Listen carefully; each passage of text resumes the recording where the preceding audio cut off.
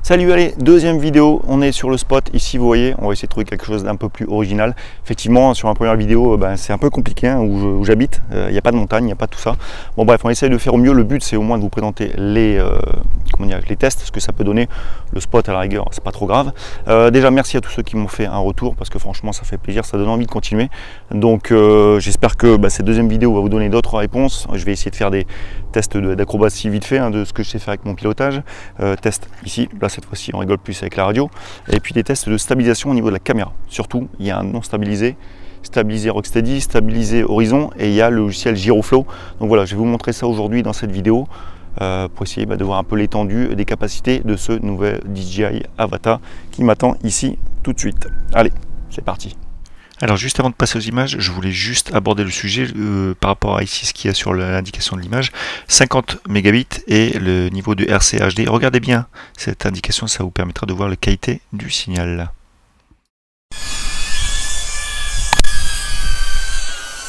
Allez, deuxième vidéo, je suis en mode normal. Voilà.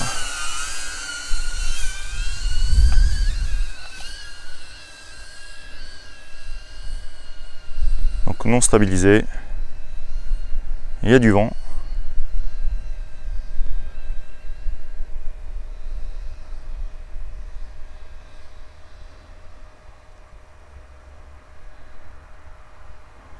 je ne connais pas le spot, donc on va essayer d'y aller tranquillement.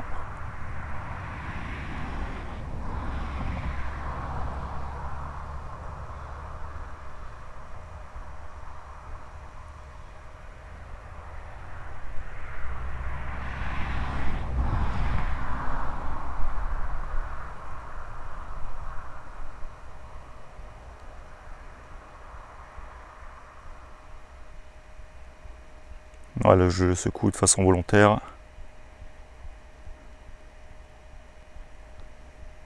Histoire de faire une ligne.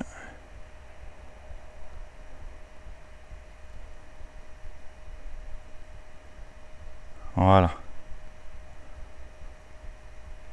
On va faire le retour en mode sport. Hop.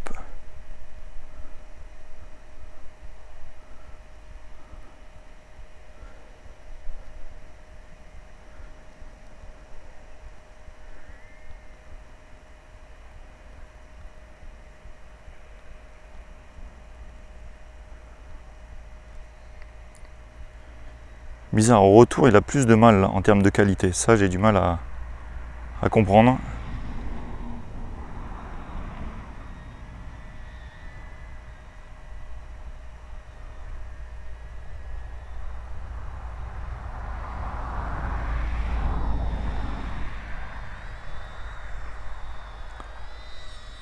Voilà, ça c'était la version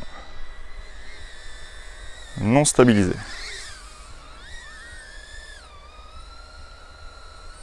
Passer en normal, on va arrêter record et on va passer en mode stabilisé. Allez, mode normal, Rocksteady. Cette fois-ci, deuxième mode de stabilisation, Rocksteady. Allez. Avec du vent, toujours.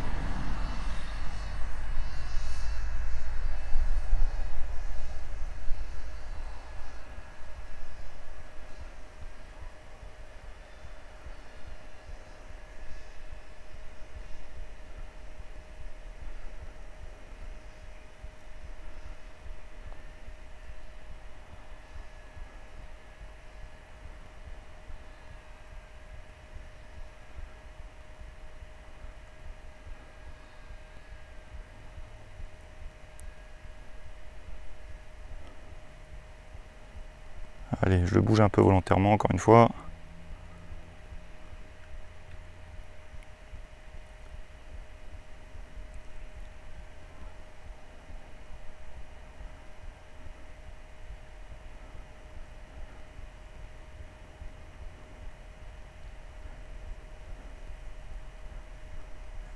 Et la même en mode sport, comme je l'ai fait tout à l'heure.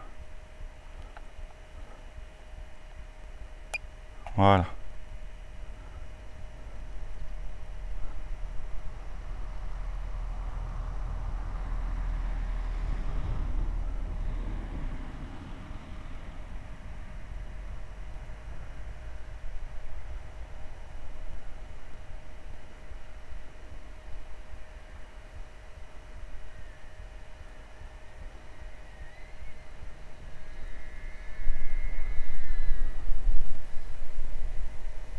Voilà, il se fait un petit peu chahuter.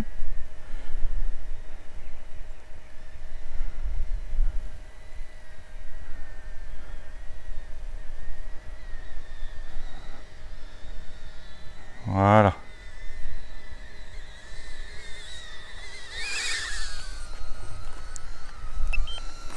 Allez, freinage.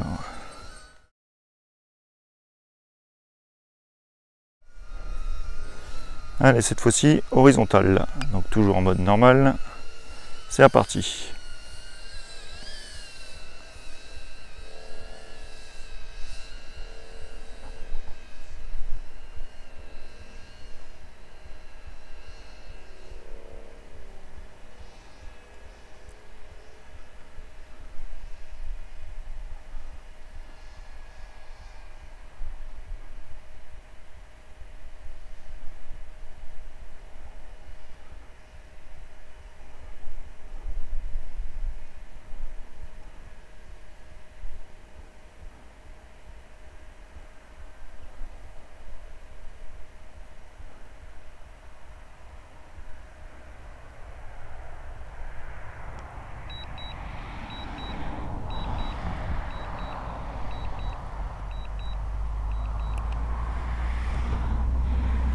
Le fameux RTH. On le fera après, on va quand même finir la batterie.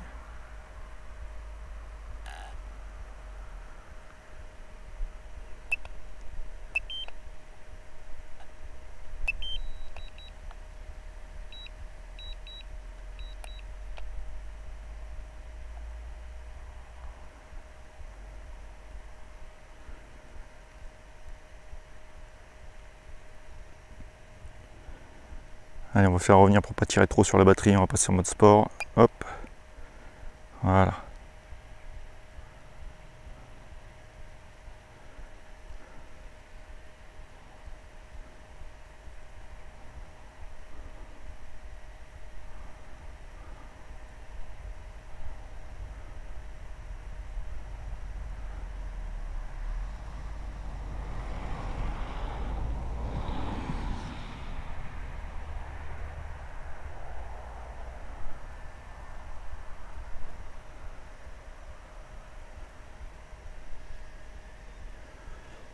Voilà, on va atterrir tout doucement et on va changer de batterie pour faire un test suivant. Voici, on va essayer le mode accro.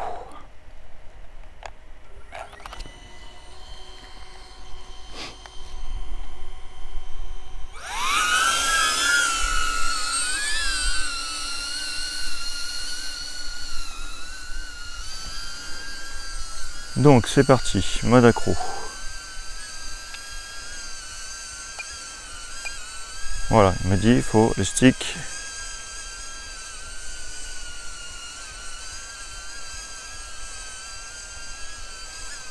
Voilà, c'est parti. Alors ça, alors je stick télécommande, il le faisait déjà. Sur euh, le DJI FPV, j'ai jamais su pourquoi.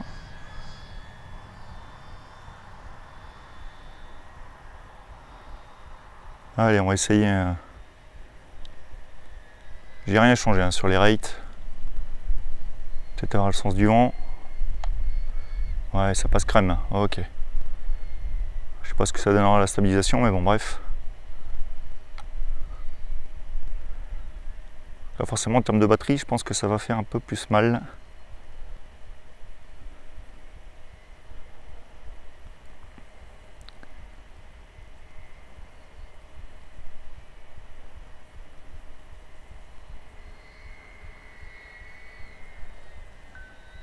c'est qu'on veut.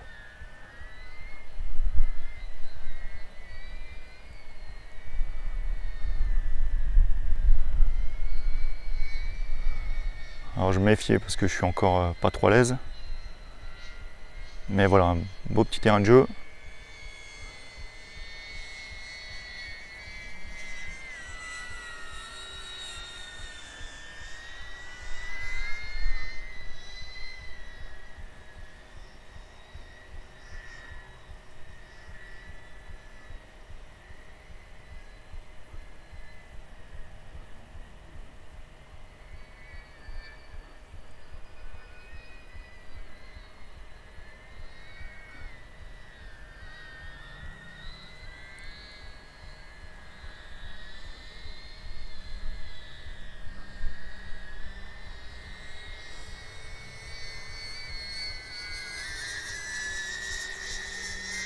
À tout moment, panique, hop, il s'arrête.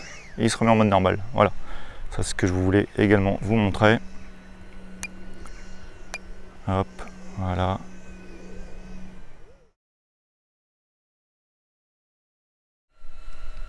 Je commence à m'y faire.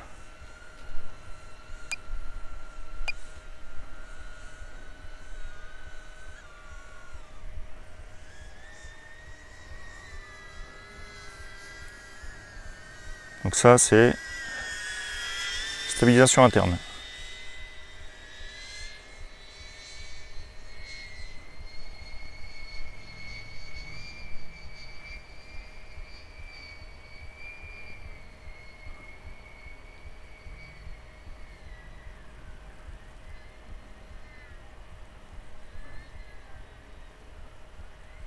Voilà, vous avez vu,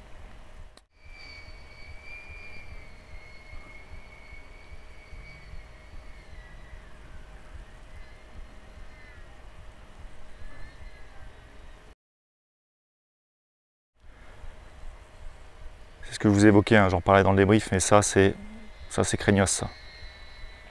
J'étais pas loin à 200 mètres je pense. Dès que tu as des obstacles, la pénétration elle est pas très bonne, donc voilà où on en arrive.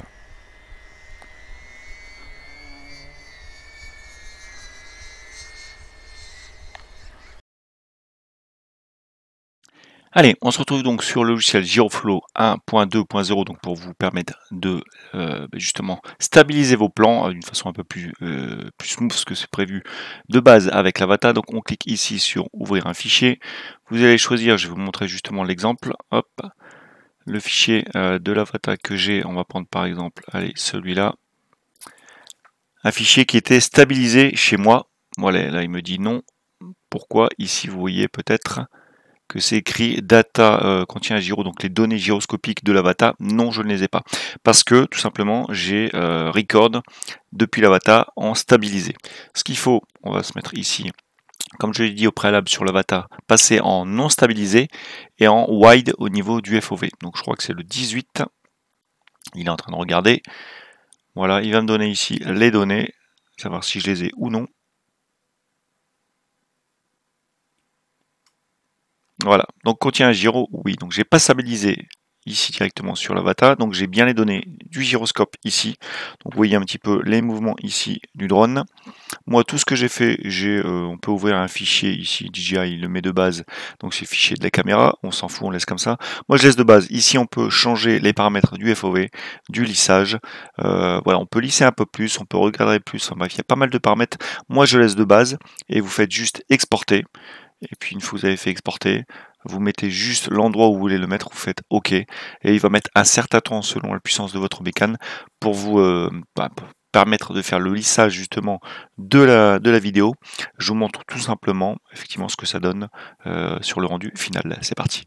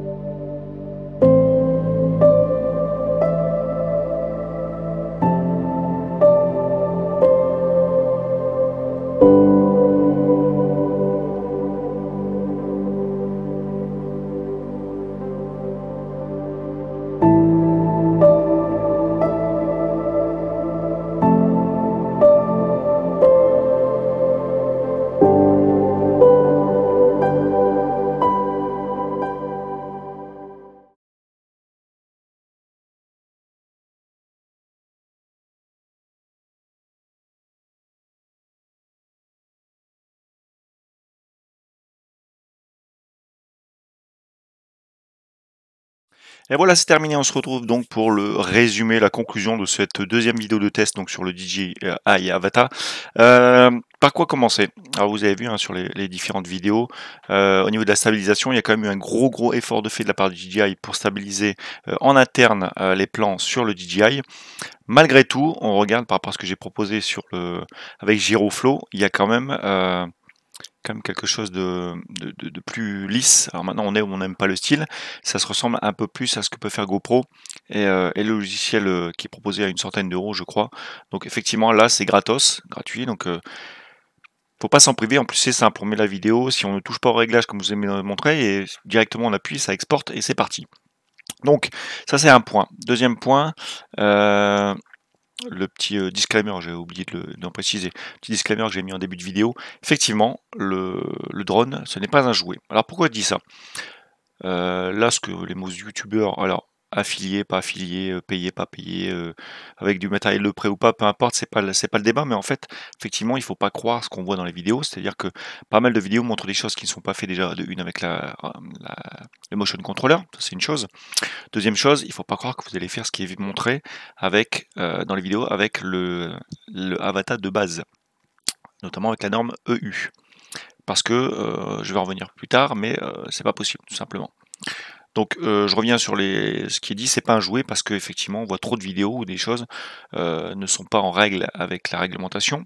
Euh, voilà, je, préfère juste le dire. Effectivement, moi-même, je spot des fois, je suis tout seul, j'ai pas de, j'ai pas de personne qui m'accompagne, mais en fait, c'est juste pour avertir tout le monde que on peut pas faire ce qu'on veut avec un drone. moi, par chez moi, il y a quelqu'un qui vole avec un drone en pleine agglomération, c'est totalement interdit. Le jour où il y aura un drone qui va tomber sur la tête d'un enfant ou quelqu'un d'autre, euh, on en reparlera. Et ce sera dans l'effet divers, et croyez-moi, la réglementation va encore durcir. Donc c'est sûr, il y a peu de spots possibles euh, et facilement accessibles euh, par rapport à l'endroit où vous êtes, mais on a les outils aujourd'hui pour pouvoir les trouver. Donc je vivement, je vous conseille de vous renseigner avant l'achat d'un drone et je vous conseille de, bah, de faire ce qu'il faut pour rester dans les règles parce que sinon ce loisir, ce hobby va se durcir de plus en plus et ça va devenir de plus en plus difficile. Voilà. Donc petite euh, aparté. On va revenir donc sur, ce qui sur les choses que j'ai pas dit lors de la première vidéo. Euh, quelque chose qui que j'ai pas évoqué, c'est vrai, c'est le bruit. Effectivement, il a un bruit particulier, il a un bruit assez aigu, il peut avoir un bruit assez chiant. Enfin, c'est vrai que ça peut, être gênant. Euh, maintenant, ça reste un drone. Peut-être qu'il y a d'autres fabricants d'accessoires qui vont proposer des hélices un peu moins bruyantes. J'en sais rien du tout à l'heure où je vous fais la vidéo, mais c'est vrai que fait pas mal de bruit. Bon, maintenant, ça me gêne pas plus que ça. Euh, mais c'est vrai que j'ai oublié de l'évoquer. Donc voilà, c'est chose faite, chose rattrapée, mais vous l'avez certainement vu dans d'autres vidéos. Quoi d'autre? Euh, Les choses assez importantes, avant que j'oublie, euh, c'est l'émission en Europe, 25 mW du signal. Alors, faites ce que vous voulez. Moi, je trouve pas ça safe de voler avec. Vous l'avez vu sur ma vidéo d'exemple de, stabilisation, qu'à un moment, je perds le signal. Sauf que je perds, le drone il est comme ça. Donc si tu perds le signal à pleine vitesse en te rapprochant du sol avec euh, quasiment plus d'image et pas de quoi rapidement appuyer sur pause, eh ben c'est le crash assuré. Donc c'est pas une question de portée, je l'ai déjà dit et je le dis dans la vidéo, c'est une question de, de, de, portée d'émission dans des environnements un petit peu encombrés. Euh, là c'était juste des arbres, j'étais allé à 400 mètres je crois, je sais plus, ce n'est juste que des arbres. J'imagine même pas derrière une montagne, derrière un bâtiment. C'est pas possible. Donc effectivement, à l'heure où je tourne la vidéo, j'ai vu que le hack euh, FCC de Beyond est dispo gratuitement. Oui, je vais le faire. Voilà, maintenant j'incite personne à le faire, mais pour voler sereinement, je vais le faire. Voilà, je tiens à vous le dire, au moins comme ça c'est clair. Donc euh, voilà, maintenant libre à chacun de faire ce qu'il veut. Euh, c'est vrai que ça paraît un petit peu contradictoire avec le petit disclaimer et la petite remarque que je vous ai fait sur les lois. Chacun est libre de faire ce qu'il veut. Moi, le hack ne permettra pas de faire du long range, ça permettra juste de voler en sécurité. Donc voilà, ça va dans le bon sens. Maintenant, il y a les lois et, euh, il y a la bonne conduite, et maintenant, il y a le, côté euh, logique de la chose. Voilà, maintenant, libre à chacun. Euh, dernier petit truc, j'hésite à acheter un petit GPS autonome, parce que euh, dans certaines situations, visiblement, le drone ne permet pas d'avoir la localisation lors d'un crash. Donc il y a deux choses. Hein. Soit c'est un, petit euh, beeper euh, autonome qu'on met sur le drone et qui permet de beeper en cas de chute, il marche très bien, je l'avais mis sur mon Cinehoop avant, ça marche très très bien. Maintenant, il existe des petits GPS pas trop trop chers qui peuvent servir soit à un drone, soit à une bagnole, à une mobilette, à une moto, un vélo, enfin bref, pouvez l'utiliser à loisir. Maintenant, il y a trois mois d'autonomie, enfin je sais plus qui c'est qui fait ça, je vous mettrai peut-être en description, mais voilà, ça permet peut-être de sauver certaines situations vu le prix de l'engin. Donc voilà, à, checker, n'hésitez pas à me dire dans les commentaires si vous, vous avez pris un, GPS euh, à part. Ça permettra peut-être à chacun de, se faire un avis sur le besoin ou non de le prendre pour le DJI Avatar. Voilà en gros ce que je peux vous dire sur ce drone qui moi m'intéresse, enfin m'intéresse, qui me satisfait toujours autant. Il y a des aspects négatifs comme à chacun, comme, comme, comme, chaque drone en fait tout simplement, mais euh, la sécurité euh, que procure ce drone, le plaisir de piloter, franchement le Mi 3 Pro, je l'ai repris il n'y a pas longtemps, ça n'a rien à voir. D'ailleurs, je vous ai fait un petit comparatif aussi de vol façon FPV de la NASA, mais encore une fois, le plaisir n'est pas là puisque vous n'êtes pas libre de vos mouvements, vous n'avez pas cette sensation de liberté et vous n'avez pas cette adrénaline de piloter, que ce soit avec le motion controller ou la radio. Voilà, c'est totalement différent d'un drone stabilisé. Donc euh, voilà, c'est mon avis. J'en termine avec les vidéos de test, pourra en parler, en tout cas les plus grosses. N'hésitez pas à me dire ce que vous en pensez, les questions que vous avez, euh, je serai toujours là pour y répondre, hein. ça, il y, en a toujours qui peuvent en avoir, euh, notamment sur les différents modes de vol que j'ai, euh, que je vous ai montré en tout cas. Donc voilà, on se dit à une prochaine, on se retrouve dans les commentaires comme d'habitude pour, bah, pour les questions, et puis je vous laisse faire le petit like, le petit partage, enfin bref, comme d'habitude, et nous on se dit à une prochaine, bonne journée, tchuss